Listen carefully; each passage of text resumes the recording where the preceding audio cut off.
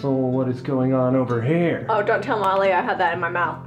Um, so I'm marking everything with highlighter that's going 50% off in my clearing out hoard sale that I'm doing so I could revamp my space. And then I'm writing down the number of the item. I'll go in the computer and adjust the price so they don't actually have to mark it down when they buy it. It'll already be done in the computer.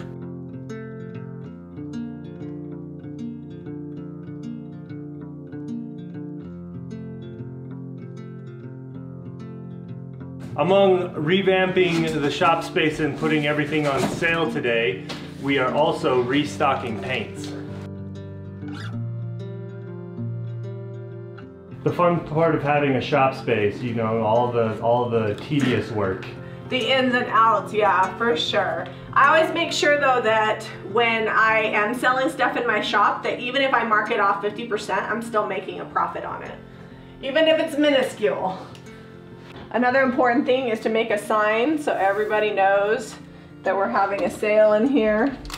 I made two signs and I'm gonna tape them onto the windows so people can see them, although I'm a little short. Oh, joyous computer work. Well, you, I mark everything down with a highlighter, but then I go ahead and go on the computer and change everything. That way, if for some reason somebody brings in their own pink highlighter, if it's not changed in the computer, it's not on sale. So we know that. What? No one would do that. What? Yeah, you wouldn't think so, and I wouldn't think so either. But it just also makes it easier for when they're checking out. They don't have to mark down each individual item. It's already in the computer. So it just takes me a couple minutes and everything's all organized. Looks like a good home for you.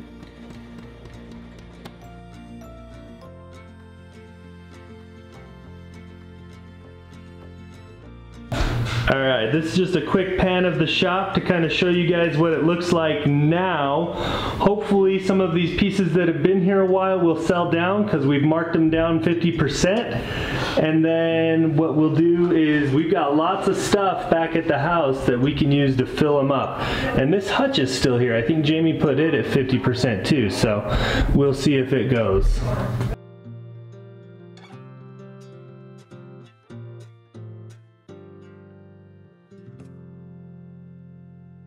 Monday, a lot of stuff sold after we marked everything down, so today Zeb and I are knocking out projects. I started these chairs about a week ago, I painted one pink, and now I'm painting one, this is mint chip mixed with white swan. I've got one already painted in cake batter, and I haven't decided on the fourth color, it'll probably be somewhere in the blue family. We're probably going to be doing some dark wax on these to kind of make, like age them up and make them look grungy. I might even number the back of them.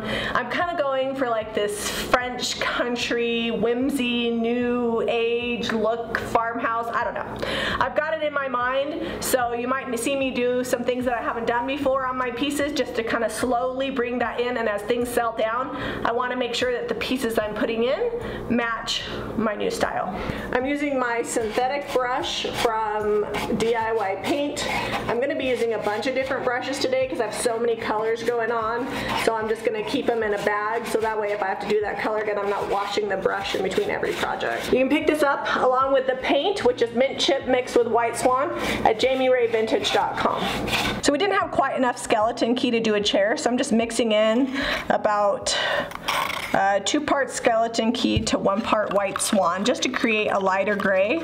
You're going to want to stir until the color is completely incorporated and scrape those edges so that way you don't have any of the original color left in your jar. You don't want to get to the end and have not the right color. The nice thing about skeleton key is it does have a hint of blue in it. It'll be the perfect blue-gray to coordinate with my other chairs. When I'm doing something like this where I've got a set that's coming in like four different colors, I like to hand brush because I don't want to have to fill up the spray gun for an chair and I'm doing like lots of different colors today. So you're going to be seeing us brushing a lot and spraying just in the colors that we keep in our spray guns. On our live videos on Wednesdays, we call them Waste Not Wednesdays, we like to take found items or salvage that would have normally been thrown away and create something out of it. And we made this console table, but it turned out a little dark. We used a steel wool and vinegar stain on some Spanish cedar. It looks awesome and it turned this, I mean, you can see it got really dark gray, but we need to lighten that up a little bit to kind of go with our new theme and give it a little more character. It's kind of drab right now. So I'm painting this with DIY White Swan. It's been watered down. It's about a 50% water to 50% paint mix. And when we sand this back, it'll still have the gray tones and the fun effects there, but we'll also get kind of a lime wash effect. I'm not gonna be super neat with it because I'm gonna be pulling a lot of this white back off with the sander. We just wanna soften up the dark gray tones a little bit.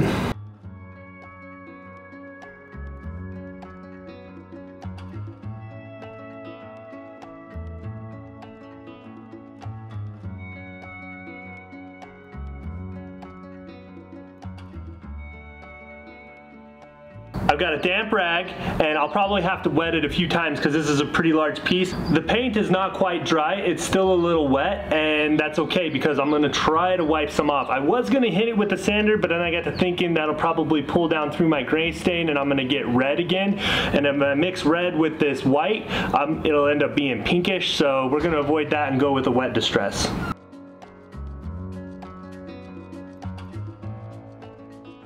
We picked this dresser up last week and we're gonna get the hardware off of it and get it ready for painting. Jami's gonna brush this. I believe she's doing milk paint on it. I'm gonna take the other three wheels off. It's really wobbly and we'll see what I have for wheels to see if it has wheels when we're done or if we're just gonna leave them off.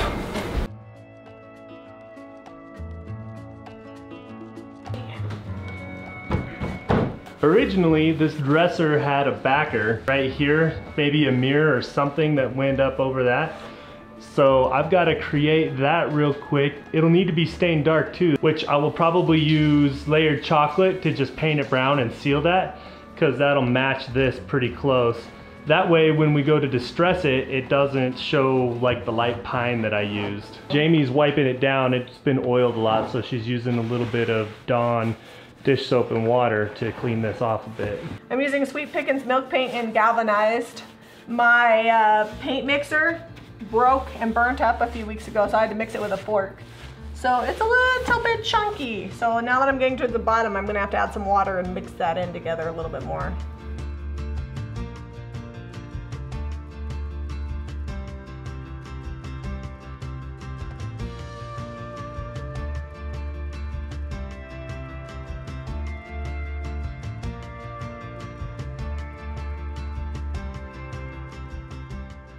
Got a couple of pieces done that need sealed. I'm using Sweet Pickins top coat in my central pneumatic sprayer. The link for the sprayer is in the description below. And this will give it a nice matte finish.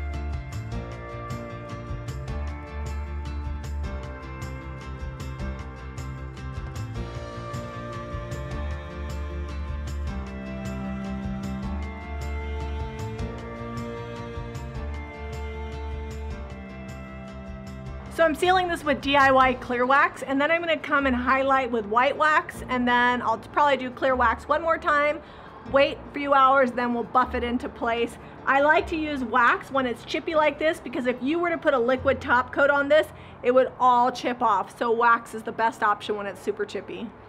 I'm using the clear wax first so that way I don't get too much white wax all over the piece. If you just go straight with the white wax, it's gonna be a much more dramatic white wax effect.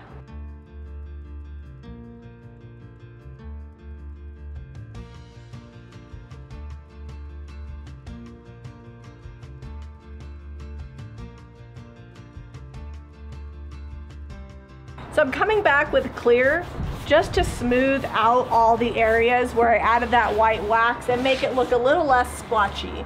It'll pull some of the white wax off and blur all the lines.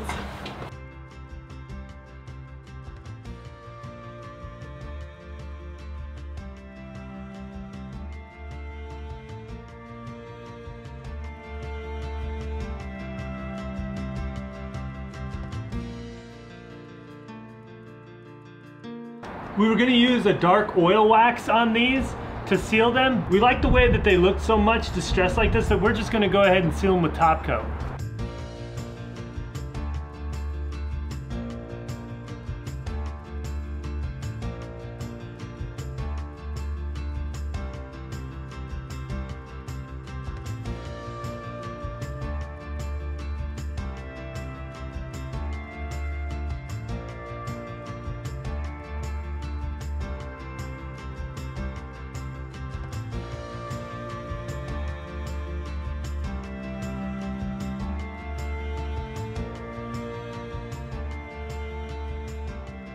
We finished a ton of projects this Memorial Day. We're gonna get this video edited and up so you can watch it. And then tomorrow or the next day, we'll get them loaded into the shop and we're gonna continue to do more chippy, layered French country type finishes as we redesign the shop and come up with a new look. Can't forget about our farmhouse roots though. Lots of salvage. That's right, farmhouse, French country, chippy, pastel, some black accents. It's the whole thing. Go to jamirayvintage.com for the paint and products we use today. Hit that notification bell so you never miss a video. Give us a thumbs up and subscribe to Jami Ray Vintage for more DIY.